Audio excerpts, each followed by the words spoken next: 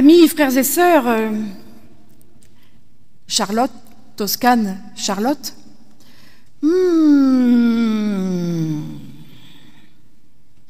j'entends comme un soupir de soulagement. Ah, la confirmation, c'est fait. Ah ben c'est pas trop tôt. Super, c'est fini le caté. Bon, d'accord, c'est vrai. C'est vrai que la semaine que nous venons de vivre était dense. Il a fallu se creuser la tête ces derniers jours pour choisir un texte biblique, quelque chose qui vous ressemble, écrire quelques mots qui pourraient illustrer votre foi d'aujourd'hui avec cette petite angoisse secrète. Est-ce que je vais pouvoir dire quelque chose de moi devant tout ce monde? Ce n'est pas facile. Alors nous avons quand même préparé ce culte en un temps record, en se rencontrant un minimum de fois. Nous avons traversé cette année comme on a pu, en gardant l'espérance qu'un culte de confirmation pourrait peut-être avoir lieu dans les meilleures conditions possibles. Eh bien, c'est ce que nous vivons aujourd'hui, ici et maintenant. Il y en a qui pourraient dire euh, Alléluia, hein mais bon. Les versets que j'ai lus à l'instant sont extraits de l'évangile de Marc. Et il se trouve que c'est le texte du jour, en tout cas pour euh, les versets 30 à 32, pour toutes nos églises. Cela ne pouvait pas mieux tomber pour un dimanche d'éducation biblique et un culte de confirmation. D'abord parce que l'éducation biblique est en train de plancher à sa manière sur la graine de moutarde. Nous verrons les résultats tout à l'heure. Et puis, je me disais qu'en voyant les enfants partir pour leur séance, peut-être vous êtes rappelés, Charlotte, Toscane et Charlotte, qu'il n'y a pas si longtemps, c'est vous qui partiez dans votre petit groupe pour entendre vos moniteurs et monitrices vous parler déjà d'une graine de moutarde semée en terre, promise à devenir la plus grande des plantes potagères. Et c'est à ce moment-là qu'une graine de Bible fut semée dans votre vie d'enfant. Cette parole a trouvé en vous, avec ce que vous êtes chacune, un terreau favorable pour qu'elle grandisse, qu'elle mûrisse, sans trop savoir comment d'ailleurs, jusqu'à ce qu'elle prenne toute son envergure aujourd'hui par le témoignage que vous venez de rendre, avec vos mots à vous, avec des textes différents les uns des autres, mais qui parlent de choses très importantes pour vous, comme le doute, la liberté et l'amour du prochain. Vous avez évoqué ce qui compte pour vous aujourd'hui.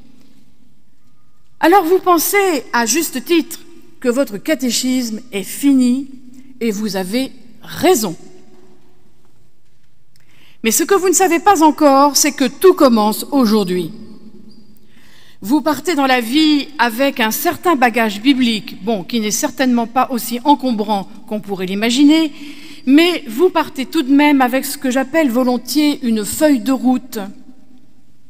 Votre éducation familiale, votre éducation religieuse.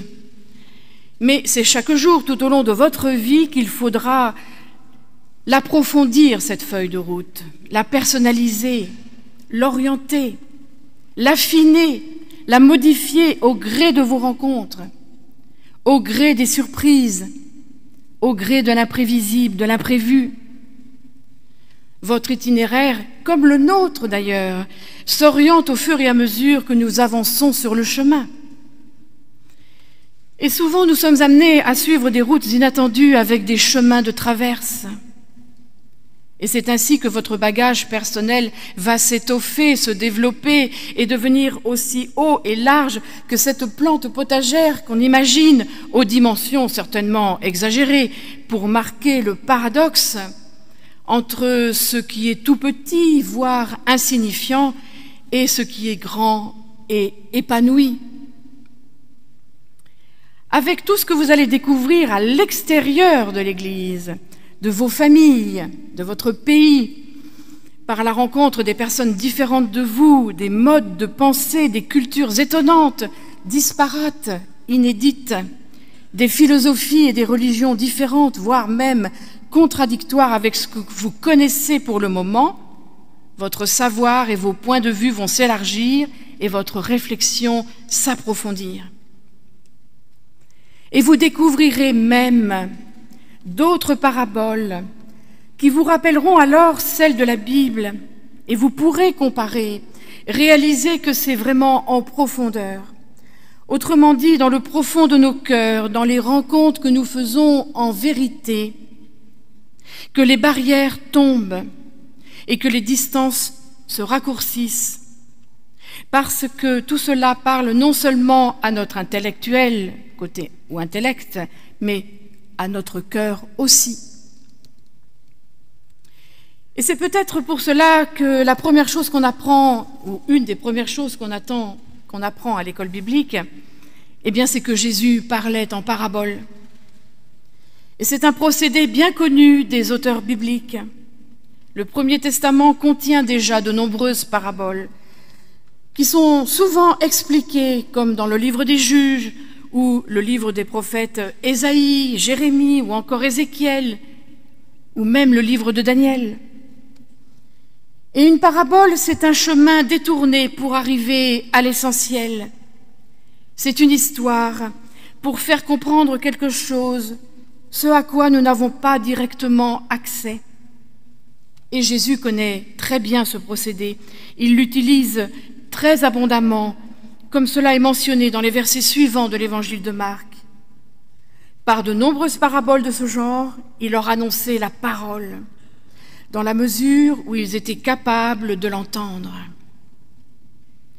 Et Jésus parle en parabole pour concrétiser sa mission, qui est de mener chacun jusqu'à Dieu ouvrir un chemin de foi en le proposant, jamais en l'imposant.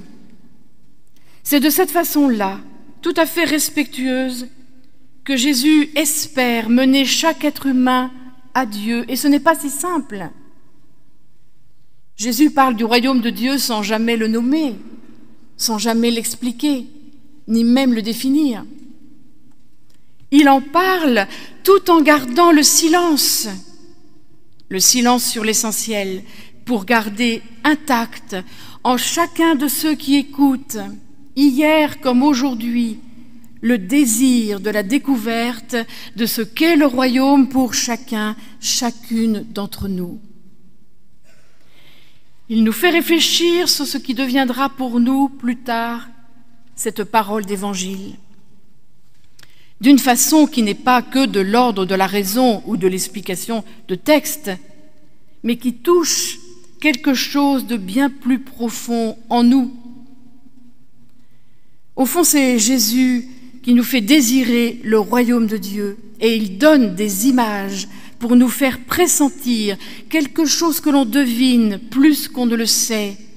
Et il invite chacun, chacune à se déterminer en fonction de son attente personnelle. C'est pourquoi il ne donne pas de définition du royaume.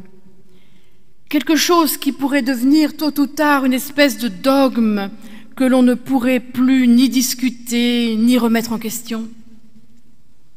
En fait, la parabole finit par faire sens quand elle nourrit notre esprit, quand elle offre un repère pour s'orienter.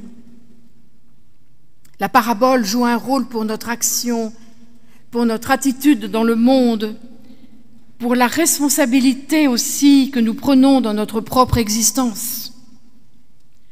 Et il ne s'agit pas ici de faire main basse sur le royaume de Dieu et décider une fois pour toutes de ce qu'il doit être, ce qui serait une manière de maîtriser l'ordre divin. Mais la parabole, au contraire, est là pour nous faire réfléchir, exactement comme notre image se reflète dans le miroir, un peu comme si nous nous parlions à nous-mêmes. Mais aussi, les paraboles sont là pour nous faire revenir en pensée sur nous-mêmes. Elles nous permettent de réfléchir à ce que nous pouvons espérer, sur ce que nous pouvons ou même devons faire à l'image d'un grain de moutarde semé en terre, comme la plus petite des semences, promise à devenir une très grande plante potagère pour la grande surprise de tous. par les paraboles toutes singulières mais toutes différentes, Jésus nous installe en quelque sorte dans la conscience de notre liberté, libre de rechercher ou non une interprétation, libre de s'engager ou non. Il place chacun en face de ses responsabilités. Et il rappelle que nous sommes invités à regarder le monde qui nous entoure par le biais de la grâce de Dieu, que nous appelons aussi cet amour sans condition, toujours donné, toujours renouvelé, invitant à faire de nous des êtres libérés et réconciliés. Voilà ce qui est semé dans le cœur de l'être humain et qui parle à chacun là où il en est. Et la comparaison avec le grain de moutarde prend alors tout son sens. Bien sûr qu'il ne s'agit pas seulement du devenir d'une plante potagère, mais qu'il s'agit des étapes de notre personne, naître, grandir, se développer et mûrir. La parabole que nous avons entendue est une parabole et une parole de confiance. Quelque chose de petit et de fragile, comme pouvait l'être une parole prononcée par Jésus, et qui aurait pu rester lettre morte, continue de susciter un élan vital pour des millions de personnes à travers le monde, encore aujourd'hui. C'est une parole qui nous encourage à chercher par nous-mêmes, et certainement en nous-mêmes, ce que cette parole veut dire et qui est celui qui la prononce. Cette histoire nous invite à faire confiance non seulement à celui qui la prononce, mais aussi à nous-mêmes, à notre capacité à la recevoir, à la comprendre, à la faire nôtre, dans le but de la partager, de la transmettre à notre tour. Avec cette histoire et avec les autres que nous pouvons découvrir aussi, mais avec celle-là en particulier, nous apprenons que notre compréhension de Dieu n'est ni figée ni définitive. Elle est amenée à évoluer exactement comme notre propre personne évolue et grandit en passant chaque jour progressivement de la jeunesse à la vieillesse, comme le grain de moutarde est promis à devenir plantureux. Et notre foi, c'est cela aussi. Quitter ce que l'on sait ou ce que l'on croyait savoir, quitter tout ce qui nous sécurise, mais aussi ce qui peut nous emprisonner ou nous empoisonner, pour nous mettre à découvrir une nouveauté que nous comprendrons mieux à partir de notre propre expérience, à partir de notre propre prise de responsabilité et non plus à partir des expériences des autres ou des responsabilités des autres. Aujourd'hui, nous ne croyons plus vraiment en Dieu de la même façon que nos parents ou nos grands-parents, mais ce qui compte, c'est que la foi demeure. Les institutions peuvent changer, évoluer, les églises peuvent même se réformer, si toutefois c'est encore possible, ou même disparaître. Eh bien, ce qui compte, c'est la confiance que nous mettons dans la parole de Dieu car c'est elle qui se transmet d'une génération à une autre, faisant naître une foi nouvelle, d'abord grosse comme une graine de moutarde, et devenant une plante suffisamment robuste pour abriter tous les oiseaux du ciel. Alors c'est aussi une image pour nous dire que Dieu est fidèle et qu'il espère toujours en l'être humain c'est pourquoi, sœurs et frères,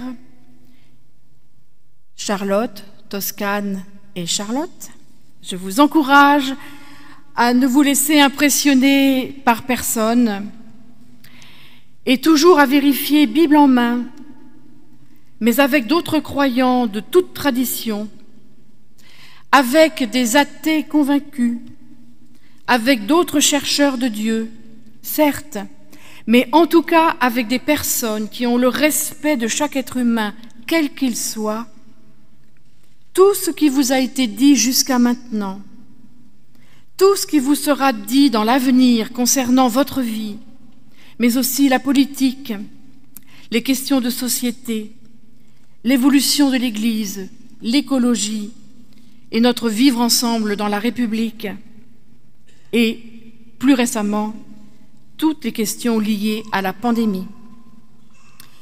Mes amis, cela vous concerne désormais autant que nous tous, dans votre espérance et votre foi en Dieu, tout en gardant votre sens critique, votre honnêteté et aussi votre humour. Et avec vous, puissions-nous, nous aussi, devenir ou redevenir comme les oiseaux du ciel, des êtres, des personnes promis à penser, à critiquer, mais aussi à croire en toute liberté. Amen.